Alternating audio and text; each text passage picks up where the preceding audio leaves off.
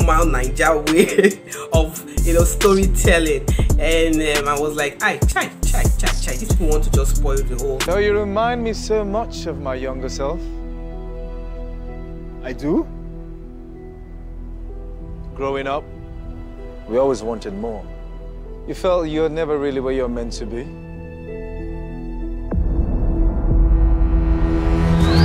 Come on, we go.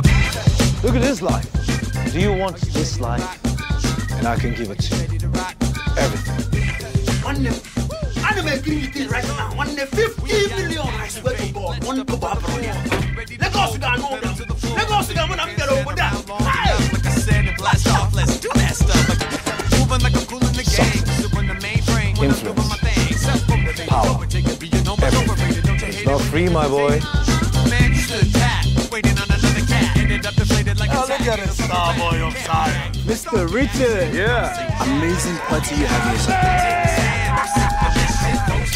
Ain't no need to live. What do you know about Richard Williams?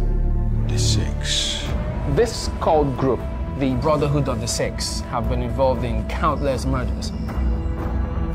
What do you have to do with all these killings, Mr. Zion? Why is he after you and your son? If we go down, you go down. You are in grave danger. And the minute they start to inch close, I snap their necks. When you take, you give. Is the order of things. This is no f***ing game. Clock is ticking. Tick, tock. Tick. What have you done? Lefty!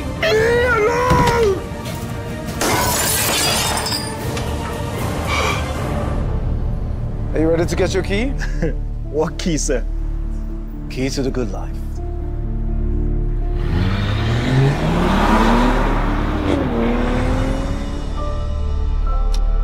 Hi, people. Welcome to another edition with the Consultee. If this is your first time meeting me, my name is Chacha Wabara, and what we do here movie reviews, we give you trailers, and everything else in between. So, if that's what you're looking for, please sit back and enjoy. And don't forget to hit on the subscribe button, turn up your post notifications so that you'll be alerted when a new video comes up. To my returning subscribers and viewers, thank you so much for joining me. Let's do this once again. Today, we'll be reviewing the movie Living in Bondage. Yes, a little bit too late, right? But don't worry, I'm just watching it now.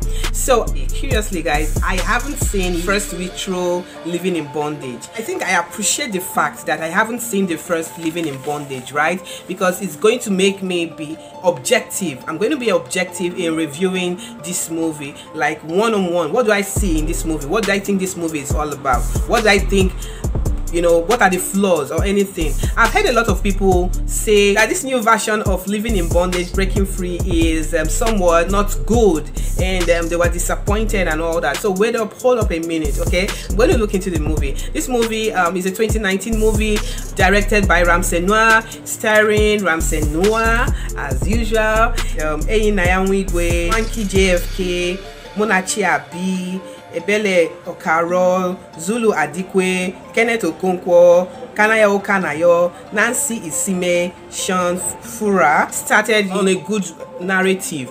But there was something you know that ticked me off.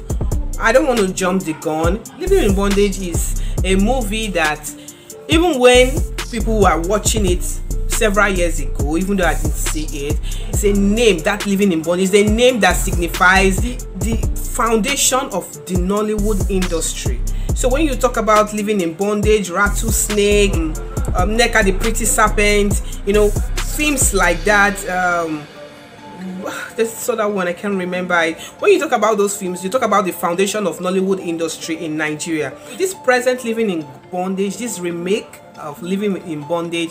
It was for me it was illuminating. It kind of shed light on the previous living in bondage.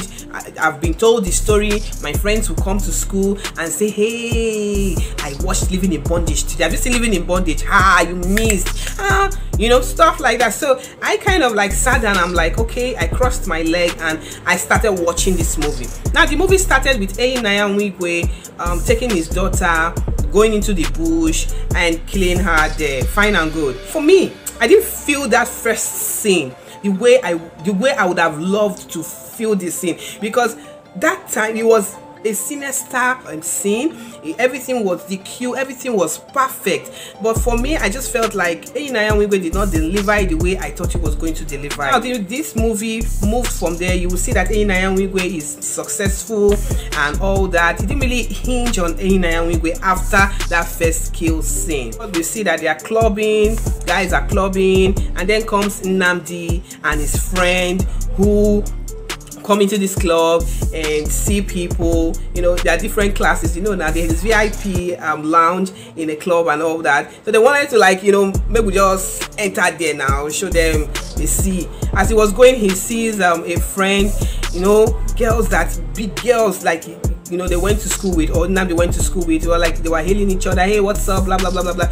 And later on since those those his friends or that's his friend who is a banker and all that shouldn't want anything chilling with some guys and they were even the ones dancing for those guys and it was wondering what's a professional like that doing? You know all, all over this guy. He saw that you know it was a class way ahead of him. So they went closer to see how they could you know just enter there you find themselves inside and bouncers were there like you know know what? Move back. This place here is restricted. And they wanted to fight you know fight their way through and got thrown out from the club. We see that Nnamdi started his own company that he was going to make it and all and all of that but ended up getting frustrated. So he moves back packs his things and moves back to his village to his uncle Zulu Adigwe and Ebele Okaro who adopted him from the age of five and then his adopted brother as well you know who is a lawyer. They were all in the village. So that village scene played and he says i'm going to make it. He says they now see this auntie of theirs when they went to church. He, he noticed that um, his adopted mom, Ebele Okaro, tried to avoid, even Zula Adigwe tried to avoid her, and she was like, Hey, now you have grown? You're so big, blah, blah, blah, blah, blah. Anyway, let me tell you the whole story for those who haven't seen it. You can imagine it took me so long to see the movie. For those who still haven't seen it, and those who have seen it, you can relate with me. It all boils down to Nnamdi getting in touch with that his auntie. Meanwhile, Nnamdi's real father is Kenneth Okonkwo. What's his name? Andy you know, in living in bondage. He was apparently he had denounced that sect, he had denounced the society and had become a grandfather renowned for you know speaking against ritual killing, belonging to what's it called secret societies and doing things uh, for money. So that son was Nnamdi, not Mary. I think the second wife. Yes, the second wife. Their son was Nnamdi. So, but with everything and all that, Nnamdi was now adopted by this other family, and Andy just went away. Andy did not even know that he had a son to start with. So, apparently, the Secret Society wanted, you know, Kenneth Okonkwo back because he still had that oath. Whereby they couldn't get Kenneth Okonkwo, they now, you know, set their sights on Nnamdi and they gave him everything without him knowing. The head of the society was Ramsey Nouah, who was so rich. Origin was unknown. He had all the connections everywhere in the world. So he just took Nnamdi under his wings. Nnamdi started having hallucinations, dreaming where he will be initiated and all that, but wake up and see nothing, but still see signs that his blood was collected and all that. But anyhow, he was in love with money. He wanted to get rich fast. He wanted to own the cars. He wanted to be known all over the world. He wanted everything. And so he kind of let everything slide. But like they say, nothing free goes for nothing. Um, nothing free goes for nothing. What's that? Well there's nothing that is free in this world. So he now had to pay back. They said he he should get the blood of um, his beloved one the person he loved most in the world. Who was the person that he loved most in the world? That was Munachi Abi his girlfriend she started feeling things. Um, she was woke spiritually. She said you're not acting right what's going on what blah blah blah. And incidentally she dated one of the members of the uh, secret society that is um, is it Kechi I can't remember his name Anyway, she now discovered that they have the same tattoo, the same mark on their bags, and blah blah blah blah. Instead of going towards the normal Niger way of you know storytelling, and um, I was like, "Hi, chai, chai, chai, chai." These people want to just spoil the whole thing. But anyhow, moving forward, she now went to go and trace Nnamdi's supposed father, Kenneth Okonkwo, in church, and all that, all that. Meanwhile, Nnamdi was resisting the urge to kill Munachi Abi. He just wanted to die alone. It was like, you know what, kill me. I don't want to kill anybody. So he, he, he, went, you know, temporarily insane. I kind of like liked, you know, that place where he became desperate to to kill or to you know to be free. He wanted to be free.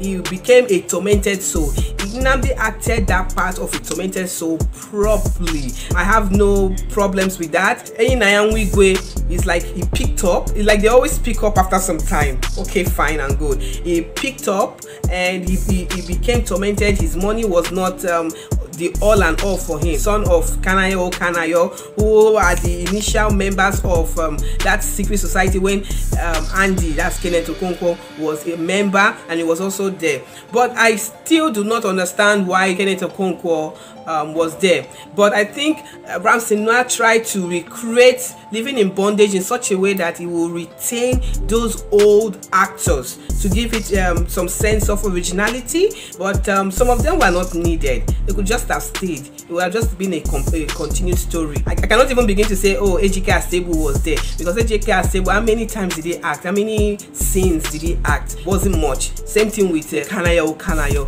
Uh, Enyinaya Nwigwe committed suicide because he was just was tormented with the fact that he killed his daughter. He had been marrying and marrying and marrying. I don't know i don't know don't chicks you know investigate before they start marrying someone. Your first wife died second wife died third wife died he was now marrying a fourth wife. So anyway this time around they committed suicide thankfully for the girl whoever it is that he married. Sorry about the noise. Moving forward they tried to replay that otogoto killing. Around 1996 i remember i remember that incident where um it was saying that some people were killing human beings and even cooking cooking them and eating. So they chased out all those otogoto members. They called them the target otogoto because the hotel was otogoto. So that was what happened. Now we're heading dangerously close to the end of the movie and uh, the movie was somewhat disjointed. It was a good narrative when they started but i think they were about to lose it. But somewhere along the line they picked themselves up again and you know try to package the movie to end to end properly. Another part i loved was ramsey nouah's entry into the movie as richard williams his introduction into the movie was perfect was awesome was seamless even when he told nnamdi let's go for a ride Ramsey Nouah is awesome. I don't know what happened initially, but right now, all Ramsey Nouah's movies are all wonderful. For me, that's what I think. Is acting, delivering, delivering his roles, you know, on a higher level. But where I was wondering what was happening was um, when Nnamdi stabbed himself instead of his brother and he landed in hospital they said they were doing this they were doing that. You know it all ended in an acceptable nigerian way you know that left too many questions about what was happening what is going to happen how is this settled what is going to it kind of made it seem like there will be a part two. But i don't think that if there's a part two anyone will be interested in watching it because everything was scattered at some point. I, I don't think it encourages anyone to say you know what? I'm looking forward to uh, part two of this living in bondage freedom or whatever to be free or something like that. I'm looking forward to it to answer all my questions. Everyone you know deduce whatever reasoning they wanted to deduce. That was how uh, the movie ended. It was high it was low middle and then at the end of the day flat. So we were just waiting for the movie to end.